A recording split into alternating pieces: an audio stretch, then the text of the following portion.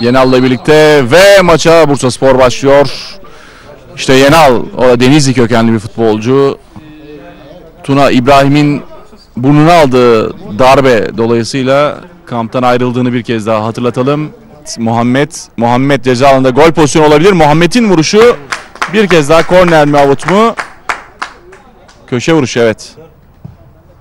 Ömer Erdoğan'a doğru bomboş Ömer Erdoğan pası. Muhammed'in vuruşu dışarıya. Bravo Muhammed.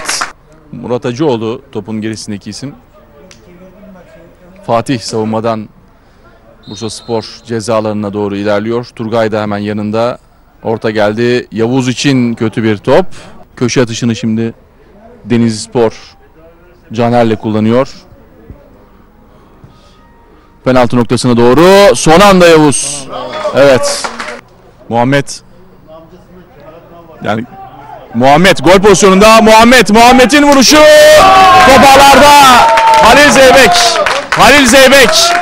1-0 öne geçiyor Bursa Spor. Gol Halil Zeybek. 16. dakika.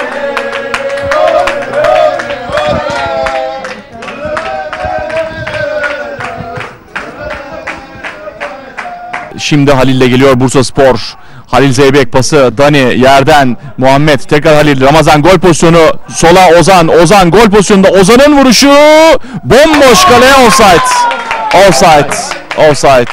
Murat Hacıoğlu Caner Bursa Spor savunması az adamla yakalandı. Angelov yerde ve penaltı. Bir anlık konsantrasyon eksiği Bursa Spor'da taç atışını unuttular. Murat Hacıoğlu da yılların tecrübesi dedik. Hemen hızlı kullandı. Kaleci Yavuz dikkatli. Caner. Caner ve 1-1. Caner'in golü beraberlik geliyor. İlk yarıda son düdük. İlk yarı sonucu Bursa Spor 1, Denizli Spor 1.